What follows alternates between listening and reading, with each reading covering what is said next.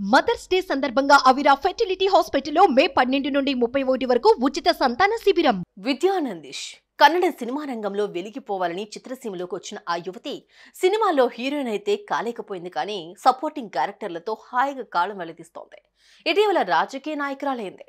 ఆ పరిణామమే ఆమె దారుణ హత్యకు కారణమైంది. ఇంతకు ఏమైంది?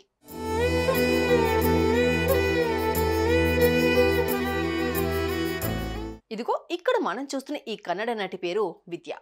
సినిమాల్లో హీరోయిన్గా వెలికిపోవాలని ఇండస్ట్రీలో ఈమె చేసిన ప్రయత్నాలు సక్సెస్ కాలేదు కానీ సహాయ నటి పాత్రలు ఆమె ఇంటి తలుపులు తట్టాయి.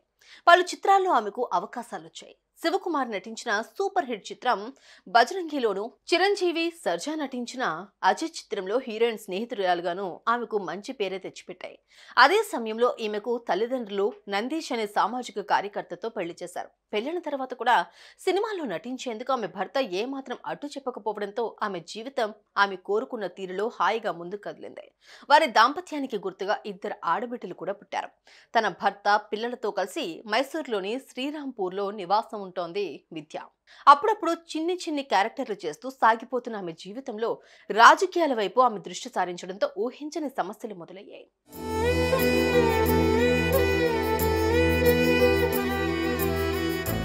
విద్య కాంగ్రెస్ పార్టీలో జాయిన్ అయింది. కాంగ్రెస్ పార్టీలో ఒక కార్యకర్తగా చేరి కొద్ది కాలంలోనే అంచెలంచెలుగా ఎదిగింది.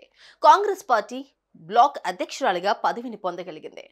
ఓవైపు అప్పుడప్పుడు సినిమాల్లో నటిస్తూ మరోవైపు రాజకీయ కార్యకలాపాల్లో పాల్గొంటూ ఆమె భర్తకు కుటుంబానికి కాస్తంత దూరమైంది. ఈ పరిణామాన్ని భర్త నందీష్ తట్టుకోలేకపోయాడు. రాజకీయాల్లో సినిమాల్లో ఏదో ఒకటి వదిలిపెట్టేయాలి అంటూ సలహా ఇచ్చారు. వీటిల్లో పడి తనను పిల్లల్ని నిర్లక్ష్యించడం కరెక్ట్ కాదంటూ రిక్వెస్ట్ చేశాడు. ఇక్కడే ఆమెకు అతనికి కూడా గొడవలు మొదలయ్యాయి. పెరిగి పెద్దవైపోయాయి. పార్టీలోని కొందరు నేతలతో ఆమె చాలా సన్నిహితంగా ఉంటోందన్న సందేహం అతని రాక్షసుడిగా మార్చేసింది. పాలిటిక్స్లో పడి తన భార్య దారి తప్పిందన్న డౌట్ పెరిగిపోయింది. కన్న బిడ్డలను ఏమాత్రం పట్టించుకోకపోవడాన్ని జీర్ణించుకోలేకపోయాడు. చిట్ట చివరికి ఓ నిర్ణయానికి వచ్చాడు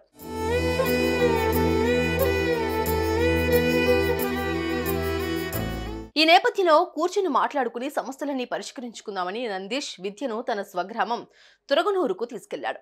ఎట్టి పరిస్థితుల్లో రాజకీయాలను వదిలేదే లేదని విద్య తెగేసి చెప్పడంతో పట్టరాని కోపంతో విద్య తలను ఓ పదునైన ఆయుధంతో పగలగొట్టేశాడు.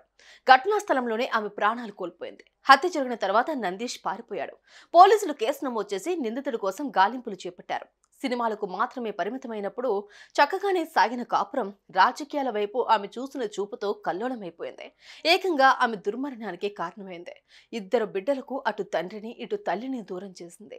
సుమన్ టీవీలో మీ పర్సనల్ అండ్ బిజినెస్ ప్రమోషన్స్ కోసం కింది నెంబర్కి కాంటాక్ట్ చేయండి.